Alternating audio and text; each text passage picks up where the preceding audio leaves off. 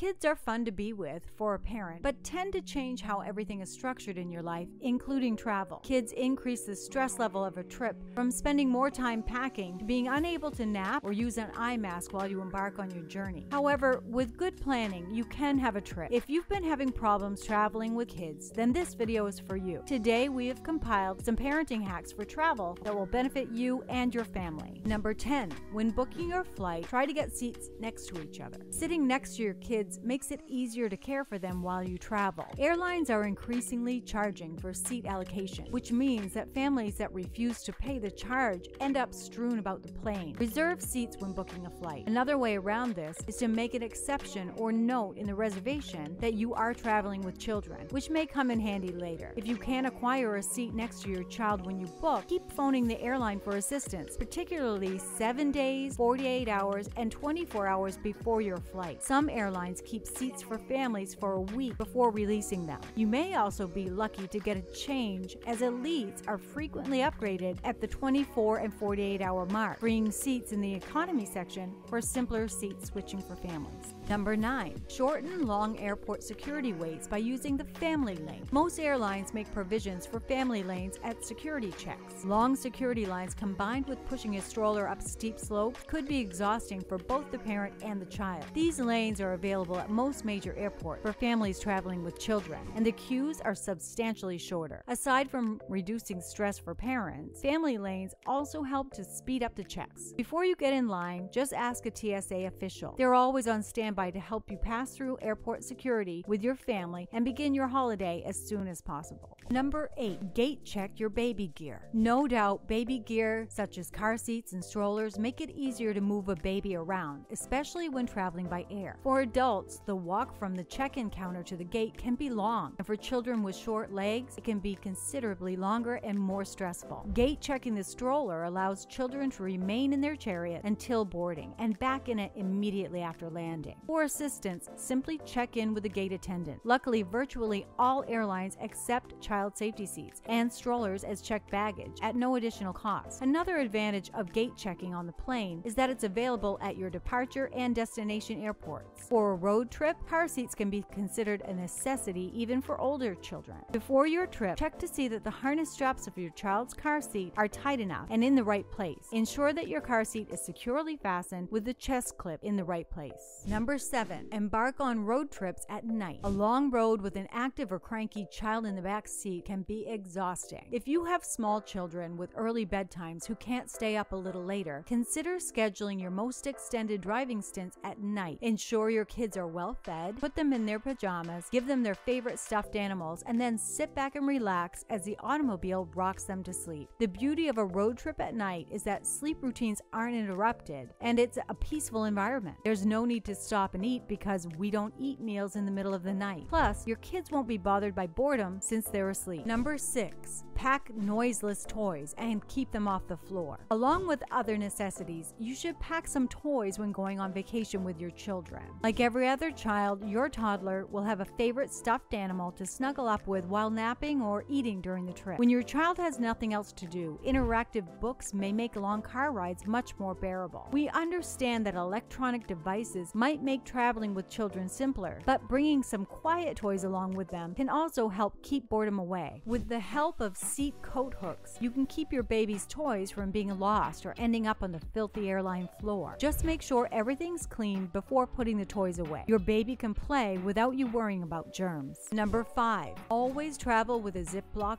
bag. It turns out a gallon-sized Ziploc bag can serve many purposes, and it comes in handy when traveling with kids. It's perfect for keeping soiled clothes in if a child gets dirty or has an accident, or to protect other items from getting soiled. To protect essential documents and passports from spills, keep them in a Ziploc bag. It's also helpful for packing kids' outfits like diapers, undies, socks, top, bottom, and other accessories. Tagging daily attires in individual plastic bags when packing for your vacation makes getting dressed in the morning a breeze. Number 4. Get a headphone splitter and kids' headphones. Suppose you only have one electronic gadget to keep your kids entertained during your trip. In that case, it'll likely cause more problems than it solves. Purchasing a low cost headphone splitter will save you a lot of drama. Your kids can comfortably watch a movie together. Well, that's if you're lucky to decide on a movie they'll all like. Remember, in flight earphones don't often fit well in small ears, which is why bringing kid friendly headphones makes them comfortable and makes us happy. Number three,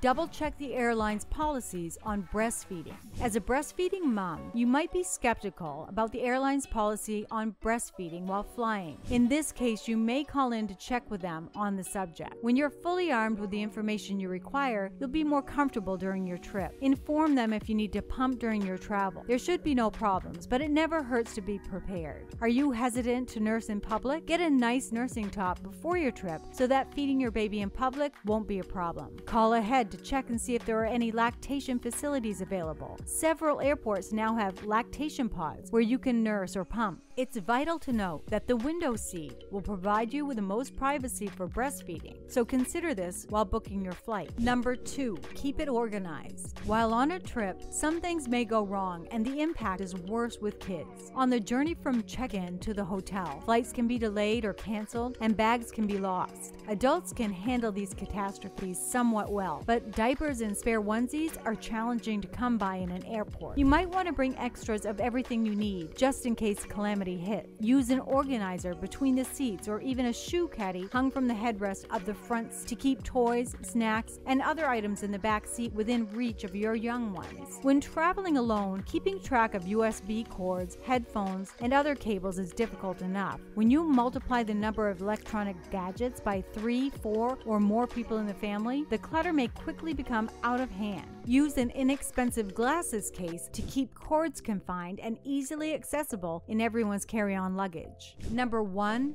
don't neglect health and personal hygiene. Avoid touching your face and always wash your hands to prevent you and your kids from contracting any form of illness during your trip. Always have hand sanitizer and antibacterial wipes with you. As soon as you locate your seats on an airline, wipe clean the window shades, tray tables, and armrests, as they can be a breeding ground for viruses. Any form of medications and other medical supplies that you and your family use regularly should be packed in minor quantities. It's a brilliant idea to have a written copy of your children's medical records with you. If needed, having this information on hand can assist healthcare providers in making decisions so you won't have to worry about forgetting vital facts in a stressful time. We hope you found helpful information in this video. Kindly share and let us know in the comment section. Click on the like button if you enjoyed watching video. Subscribe to our channel and turn on notifications so you'll be the first to know when we post a new video. Thank you for watching.